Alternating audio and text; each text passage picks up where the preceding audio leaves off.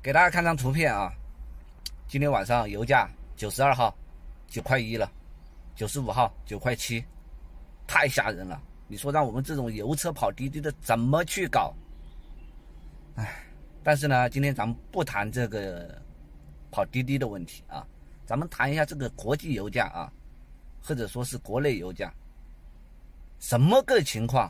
国际油价上涨，国内油价跟着涨；国际油价暴涨，国内油价也是暴涨；国际油价下跌，国内油价微涨；国际油价暴跌，国内油价下跌一点点。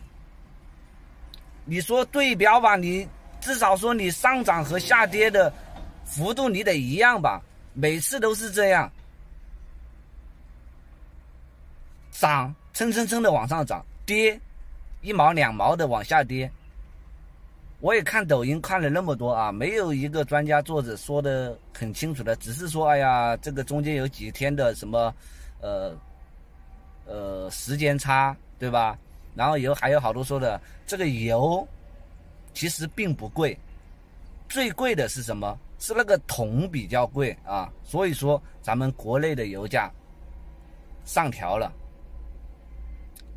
但是你说像现在啊，你油价上调了，像我们这种跑滴滴的，你的运价没上来，我们的成本反而增加了。你说这个怎么搞？还有一个油价这么高，国内没有一点任何的把控措施吗？对不对？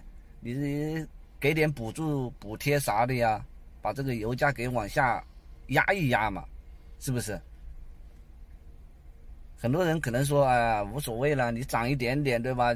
加一箱油多十几块钱也无所谓。但是对于运营车，像我们这种跑滴滴啊，不管是跑顺风车、跑长途的也好，这就是一种煎熬，无形的成本上升，就搞得我们肯定也不能跑了，感觉。就跑着跑着，完全看着这个油价就没信心了。我相信好多油车司机看到现在的油价，望而止步，根本不敢出车，还不要说什么开空调的事情了，连连热死都不愿意开空调，对不对？有谁能给我解释一下啊？你们懂得这个国际油价和国内油价这什么情况？到底对不对？